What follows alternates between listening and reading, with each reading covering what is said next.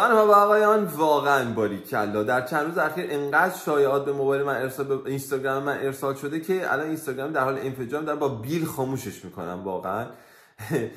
و دیگه بران شدم که داد سخن دیگه بکشایم دیگه آقا. باید گشود. و راجع به این مسائل صحبت کرد.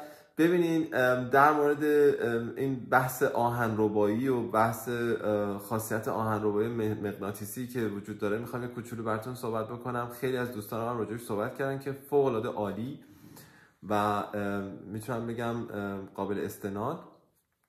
ولی من می‌خوام یه چیزهای دیگر رو براتون بگم. ببینید این بحث رو این داستان رو میشه از دو طریق بررسی کرد. یکی وجود مستندات علمی و یکی منطق و شعور که خوب چیزی هم هست. شعور آدمیزاد بی از هر چیزیه خب؟ از نظر مستندات علمی می‌خوایم مثلا براتون بررسی بکنم. اصلا فارغ از بحث واکسیناسیون. مقالات بسیار زیادی چاپ شده که شما می‌تونید به راحتی مقالات رو بخونید.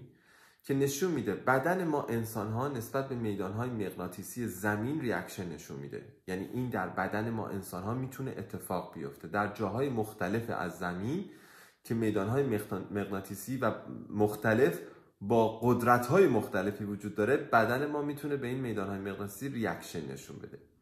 مقالش هست مستندات علمیش هم هست. به عنوان مثال که اتفاقا توی استوری خودم یکی از اون مقالات استوری کردم. براتون و لینکش رو گذاشتم که برید مطالعه بکنید به عنوان مثال در مقاله که دو سال پیش در روزنامه گاردین چاپ شده یه کار علمی شگفت انگیز انجام شده واقعا شگفت انگیز که اومدن تعداد زیادی از انسان ها رو توی یک قفس آلمینیومی گذاشتن که می‌تونه در واقع ناقل میدان های در واقع ایجاد میدان مغناطیسی انجام بده. و اومدن الکترودای نوار مغز بهش وصل کردن و زیر این آدم اومدن صفحه خونسا و ایزوله رو گذاشتن که اون امواج مغناطیسی رو منتقل نمی‌کنه. و اومدن این آدم رو توی جهت های مختلف چرخوندن به سمت شمال و شرق و غرب و جنوب و اینا چرخوندنش. و وقتی که همینجور چرخوندنش دیدن که مثلا به سمت شمال که چرخوندنش دیدن که میدان مغناطیسی زمین روی امواج آلفای نوار مغز انسان تاثیر می‌ذاره. و اینو اومدن مقالش رو چاپ کردن. در این مورد باید کارهای بیشتری انجام بشه. توی همون مقاله هم ذکر شده که این کار شگفتانگیزیه و در این مورد باید مقالات بیشتری در واقع منتشر بشه کارهای علمی بیشتری صورت بگیره. ولی اومدن اینو اثباتش کردن که این اتفاق می‌تونه بیفته. قبل از اینکه اصلا بحث واکسیناسیون باشه و کووید باشه و این داستان ها عکسای فوق العاده زیادی منتشر شده توی نیویورک پست هست توی خیلی از مجلات خیلی خیلی معتبر هست که آدمایی وجود دارن که خاصیت آهنربایی توی بدنشون هست. و خب خیلی چیزا به بدنشون وصل میشه. ولی در تمام این عکس ها یه نقطه مشترک وجود داره.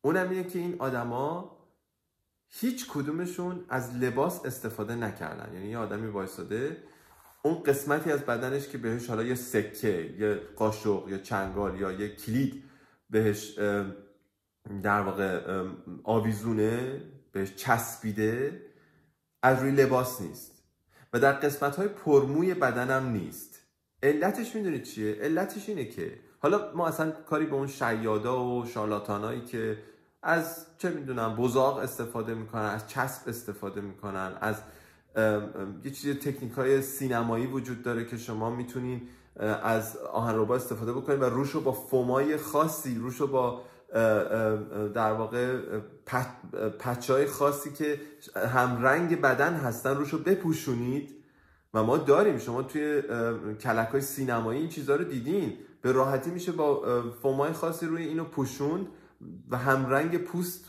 انجام داد و روش چیزی چسبوند. خارج از اون ماجراهای اون شارلاتانا و کسایی که شیادن و دارن از سو استفاده می‌کنن اینا در مورد کسایی که واقعا بدنشون خاصیت مغناطیسی و آهن ربایی داره این مسئله واقعا دیده شده.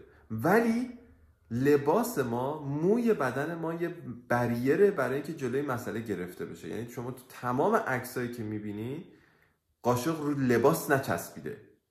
روی پوست چسبیده. حالا خارج از فارغ از اون داستانای چربی پوست تاریخ که همه اینا باعث چسبیدن خیلی چیزا میشه. شما مثلا تو تابستون عرق که می‌کنی همه جات به همه جات خودش میچسبه. دستت به دست خودت میچسبه. کاری نداریم به این ماجرا. ولی بدن ما اگر هم میدان مغناطیسی داشته باشه به صورت فیزیولوژیک نسبت به چیزهایی که ما در مستندات علمی که داریم لباس ما و موهای ما می‌تونه بریر باشه. شما هیچ وقت تو هیچ عکسی یعنی کسی مثلا قاشق رو سرش گذاشته باشه روی موهاش چسبونده باشه. شما می‌بینید در جاهایی از بدن چسبیده که نه لباس وجود داره نه پرمویی.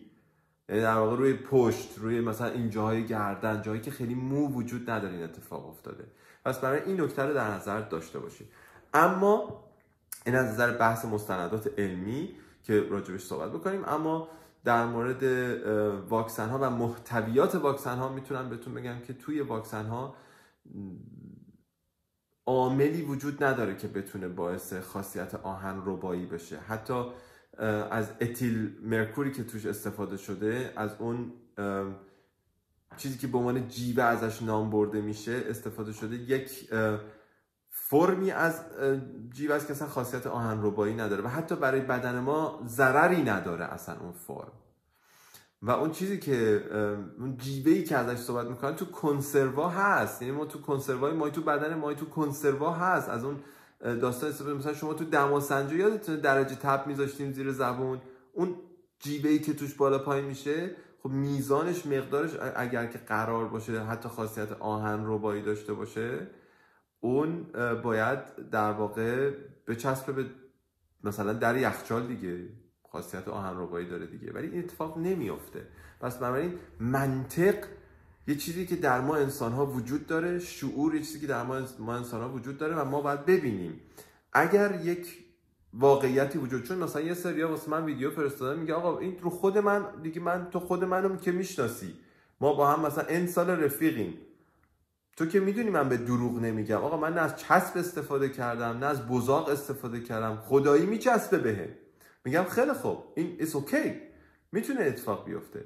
ولی این ربطش به واکسن مشخص نیست. یعنی نمی‌تونی تو اینو به واکسن ربط بدی. به خاطر اینکه اولا قبل از اینکه واکسن زده باشی تست نکردی ببینی. کدوم یکی از آدما که من من خب واقعا کسی رو نمی‌شناسم. در تمام این کسایی که دور بر من هستن هیچ کدومشون قبل از که واکسن بزنن به خودشون قاشق آویزون نکردن.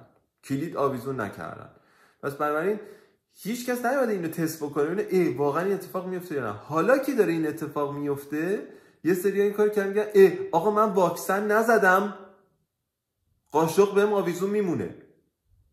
یعنی پس بنابراین شما اینو می‌بینی. در کسایی که واکسن نزدن هم این اتفاق می‌تونه بیفته و توجیه علمی هم براش مقالات متعددی هست که البته بازم صد درصد نیست ولی نشون میده که بدن ما به صورت فیزیولوژیک این اتفاق می‌تونه درش رخ بده. پس برای بیشتر مطالعه کنیم بیشتر سرچ کنیم و چیزایی رو که می‌بینیم بهش شک کنیم در موردش در واقع بررسی کنیم جستجو کنیم و مطمئن باشیم چیزایی رو پیدا می‌کنیم که شگفت انگیزه و نشون میده یه سری چیزها در بدن ما می‌تونه اتفاق بیفته. خیلی صحبت کردم عذرخواهی می‌کنم. یادتون نره که وقتی سشوار می‌کشیم موهامون خاصیت الکتریسیتی پیدا یعنی اون الکتریسیتی که توی موهای ما هست یه خاصیت الکتریسیته پیدا می‌کنه و با حرکت دست شما می‌تونید موهاتون رو در واقع تکون بدین. اگه یکی این کارو بکنه شما نمیگین که جلل خالق نگاه کن چی شد. چون می‌دونیم که تو موهای ما می‌تونه خاصیت الکتریسیته ایجاد بشه به خاطر سشوار و این می‌تونه با دست با شونه می‌تونه جابجا جا بشه.